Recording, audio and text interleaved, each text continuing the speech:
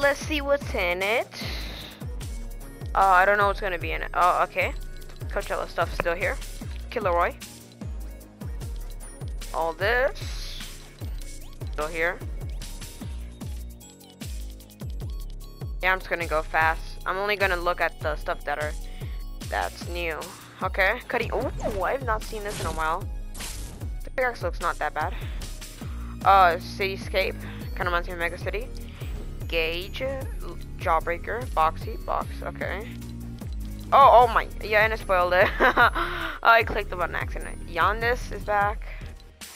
Uh-huh. Is that the highlight? Got neon glow. Mm-hmm.